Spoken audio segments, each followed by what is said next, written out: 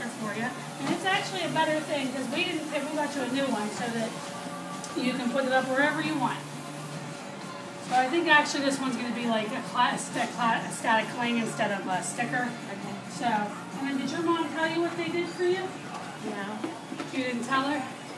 They, um, I, I uh, contacted Taylor Tourist Management Team and asked them to send this, and then they sent this for you, but then they also sent this for you.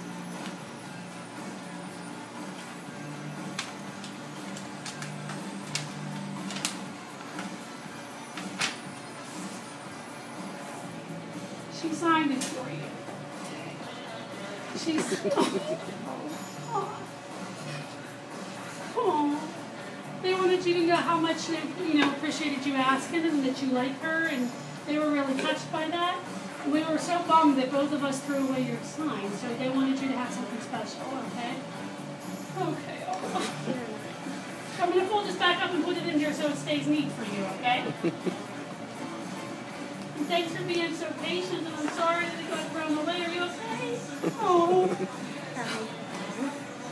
Are you gonna get to go see her in concert? You don't know? Maybe, maybe you'll get to go see her. I'll put it back in here. So, well, actually, I wanted to take a picture to send it to you. If that's okay. Do you want to stand?